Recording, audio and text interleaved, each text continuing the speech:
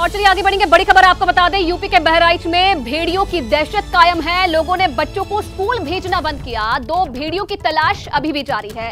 रात भर जारी रहा कॉम्बिंग ऑपरेशन। वन विभाग एक्शन में है और लगातार जो ऑपरेशन है, वो चलाया जा रहा है।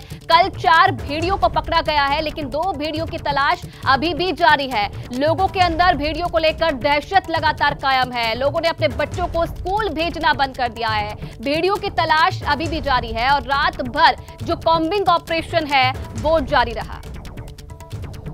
और इस बीच एक और बड़ी खबर है, गोरखपुर के जू में एक भेड़िया छोड़ा गया है, बहराइच से पकड़ा गया था, भेड़िया गोरखपुर छोड़ा गया है, चार भेड़ियों को पकड़ा गया है, दो की तलाश जारी है। वन विभाग की टीम ने गोरखपुर में चिड़ियाघर में इन्हें छोड़ा है, आज भेड़िए की जाँच की जाएगी।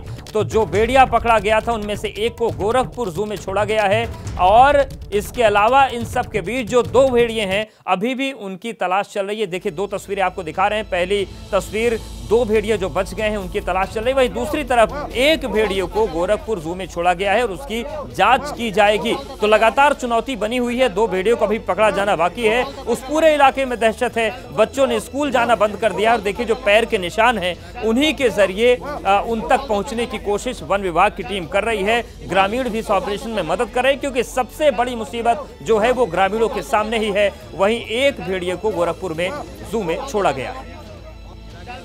Whoa.